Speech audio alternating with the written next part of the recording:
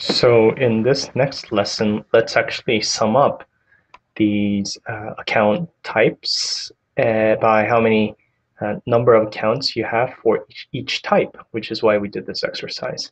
So you could do that by using the SUMIF function. What you want to do is kind of talk out loud what you're trying to do.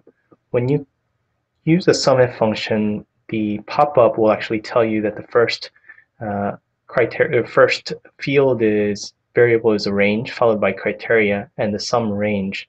So basically though, what you could say is, I want to sum all of the account amounts if that type is equal to this particular keyword, the corporate account.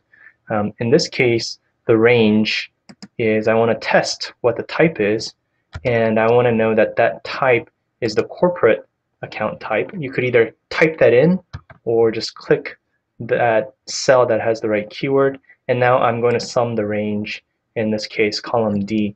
What this will do is basically go through each one of the the uh, rows in column E, the, corp, the account type column, see if it matches your criteria, which is the second variable, and then finally it'll automatically sum up the corresponding number in the accounts quantity column. So you could do this not just with the this kind of table, but suppose you have uh, accounts with dollar values, then you can sum up the dollar values automatically.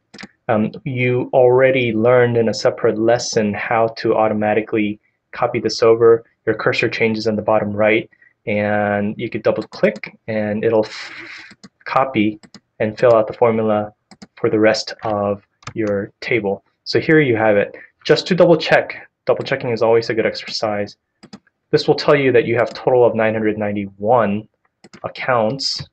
And if we were to repeat that here, you see that these two numbers should match, and they do.